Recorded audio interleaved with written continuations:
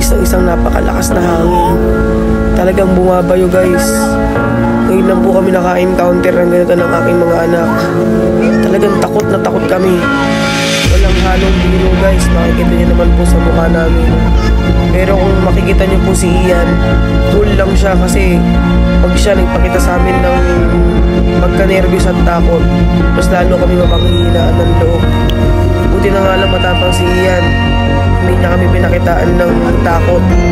Kaya medyo malaking bagay dahil kahit nakabahan ako guys, pati mga anak ko, ah, siya yung kinukuhanan namin ng lakas ng loob. Pero guys kasi kung andyan kayo sa may sa may ng ng sasakyan namin, talagang matatakot kayo guys. Talagang yung hangin bumabayo. Talagang umaalog kami. Talagang gusto kami itaob ng hangin dyan.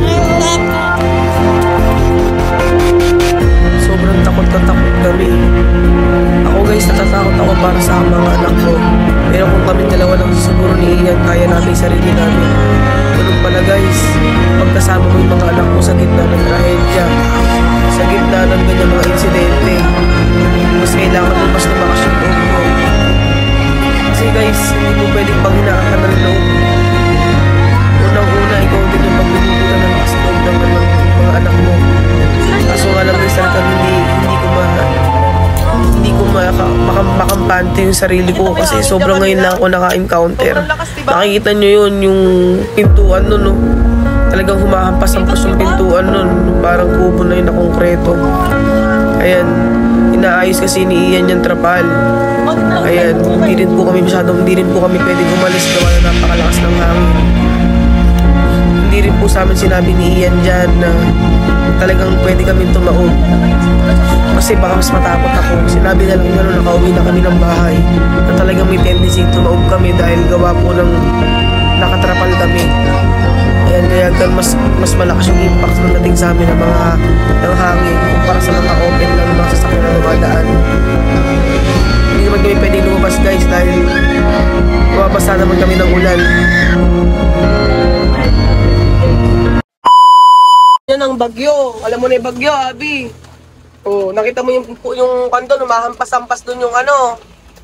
Oh, Mama, ako umaalog kasi malakas ang hangin. Nakakatakot. Forrest, takot ka? Oo. Napagsalita na si Torres. Pagaling na magsalita. Okay na yan. Abot ko ba ba? Ha? Abot ko ba? Mas maganda ka sana yung kabit mo.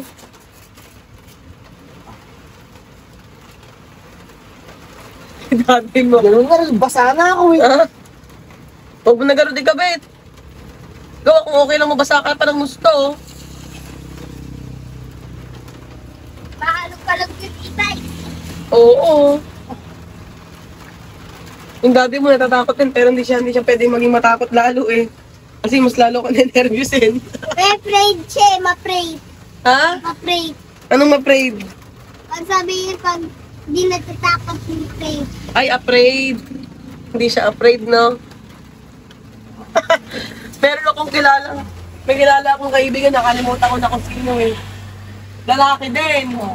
Pagka yung may problema na ukuhan yun talagang hindi na kayang ayusin, ay ala na mangyayari pagkasama mo yun. Yung pa yung unang hysterical. Napanghihinaan ka na ng loob. Grabe nangyaring hangin na dumaan na yun ano. Sabay niyo ako ano. Ganun pala yun ano, pag may puno ano. May puno sa likod. Oo.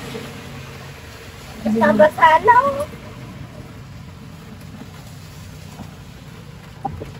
Grabe, parang nagdahilan.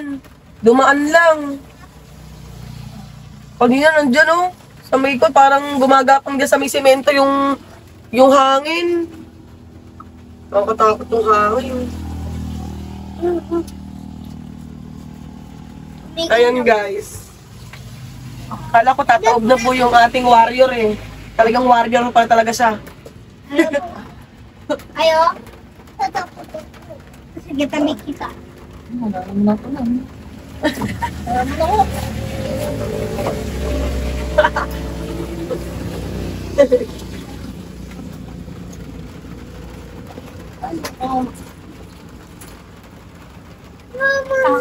Takot ikaw, baby. Maalog-alog kanina, no? Takot. Tapos kalakas ng hangin. Parang malog-alog yung ano, ibay. Ayan. Kasi tala- bubunta kami guys sa ano, sa bodega ng ng galon ng tubig. Wala pa naman ganito kaninang kalakas na ulan. Naabutan na lang po kami sa kalagitnaan ng ano, ng daan. Ayan. Ako. Na, na, let's go. Ha?